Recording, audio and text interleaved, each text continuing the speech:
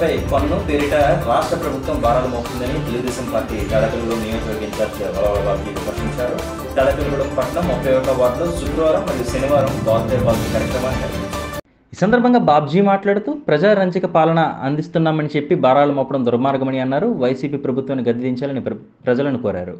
కార్యక్రమంలో పట్నాల రాంపండు పాతూరి రాంప్రసాద్ చౌదరి సబ్నీసి కృష్ణమోహన్ వాడపల్లి సుబ్బరాజు ముప్పిడి రమేష్ సీలి వెంకటాచలం సుందర రమాదేవి ముప్పై ఒకటో వార్డు ప్రెసిడెంట్ పినుమాక రాజేష్ ముత్యాల శ్రీనివాసరావు అంబటి వాసు టీడీపీ కార్యకర్తలు పాల్గొన్నారు.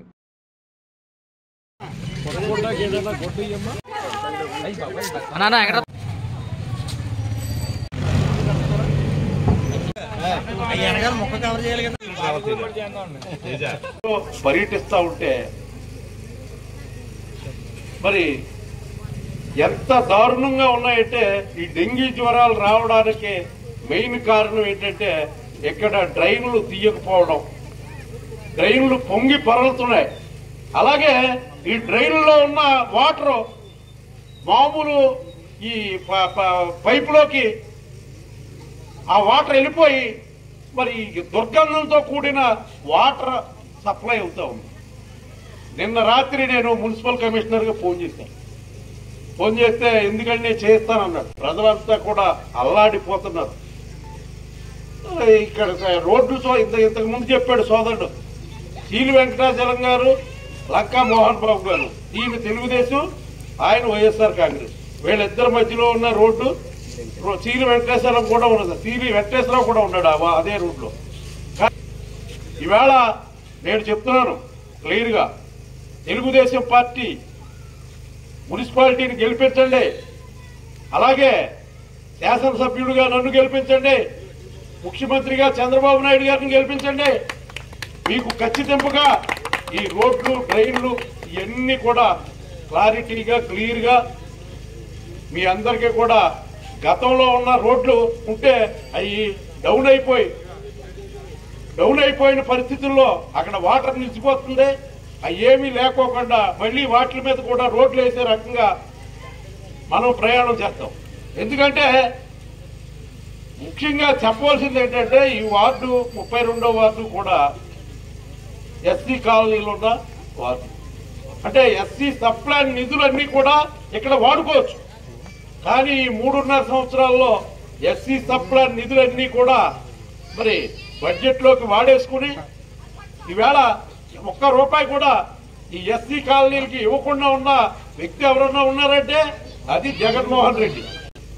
అలాగే మరి ఈ మనకి ఆరుగొల్లు ఆ ప్రాంతంలో మరి దండగర్ర ఆ ప్రాంతంలో కోరీలు ఉన్నాయి. ఆ కోరీలన్నీ తవ్వించేసుకుని అవి తీసుకొచ్చి జగనన్న కాలనీలో ఏం చేసి ఆ జగనన్న కాలనీలో బిల్లులు పెట్టేసుకుంటున్నారు. ఈవేళ ప్రతి చోట కూడా మరి ఇవన్నీ కూడా చెప్తా ఉన్నా ప్రజలు చర్చించుకుంటూ ఉన్నారు. ఏంటి ఈ ఏంటి అని చెప్పి. ఇంకా ఇప్పుడు రోడ్లు ట్రైన్లు ఈ శంకుస్థాపనలో అలాగే ఓపెనింగ్లు ఆయన చెయ్యకపోయినా మరి వాళ్ళ ఇంట్లో ఎవడో ఒకటితో చేయించేస్తున్నాడు. ఏంటంటే ఈ రా- అదంతా కూడా ముట్టు సామ్రాజ్యంగా తయారైంది. వాళ్ళు ఎందుకు చేస్తున్నారు అన్నది వాళ్ళకే తెలియదు. ఉన్న ప్రజలందరూ కూడా రాబోయే రోజుల్లో చంద్రబాబు నాయుడు గారిని చంద్రబాబు నాయుడు గారిని ముఖ్యమంత్రిగా చేసి ఇక్కడ తాడేపల్లిగూడ నియోజకవర్గంలో వలవల బాబ్జీ గారిని అత్యధిక ఓటు మెజార్టీతో గెలిపించాలని కోరుకుంటూ ఇక్కడ ఈ వార్డు ఇన్ఛార్జ్ అయిన వా- మన శ్రీ వెంకటాచలం గారిని మాట్లాడుతుందిగా కోరుతున్నాం.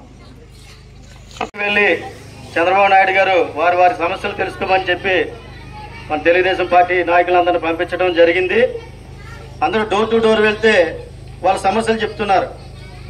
అయ్యా మేము ఎప్పుడూ చూడలేదు. ఇంత దుర్మార్గమైన పాలన. బాధుడే బాధుడు అన్నదానికి నిదర్శనం. ఆయన నోటంట ప్రతిపక్షంలో ఉన్నప్పుడు విన్నాము. ఇప్పుడు ఆయనే బాధేస్తున్నాడు. ప్రతి దానిలో నూనె దగ్గర నుంచి నిత్యావసర ఉప్పు పప్పు అలాగే డీజిల్ పెట్రోల్ అలాగే ప్రతిది కూడా చూసుకుంటే బాధుడే బాధుడు. ఇష్టం వచ్చినట్టుగా అసలు సామాన్యులు బ్రతకడానికి వీలు లేకుండా చంపేసే పరిస్థితిలో ఈ ప్రభుత్వం ఉందని చెప్పి వాళ్ళు మన వలవల బాబ్జీ గారిని ఏమండి రాబోయే కాలంలో మీరే ఎమ్మెల్యేగా గెలుస్తారు రాష్ట్రంలో చంద్రబాబు నాయుడు వస్తాడు అని ప్రజలే మాకు బ్రహ్మరథం పడుతున్నారు. ప్రజలే స్వాగతించి ఆరాధించి ఏమండి మీకు మేము ఆశీర్వదిస్తున్నాం. రాబోయే రోజుల్లో మీరే అధికారంలో ఉంటారని ప్రజలు వాళ్ళ ముక్త కంఠంతో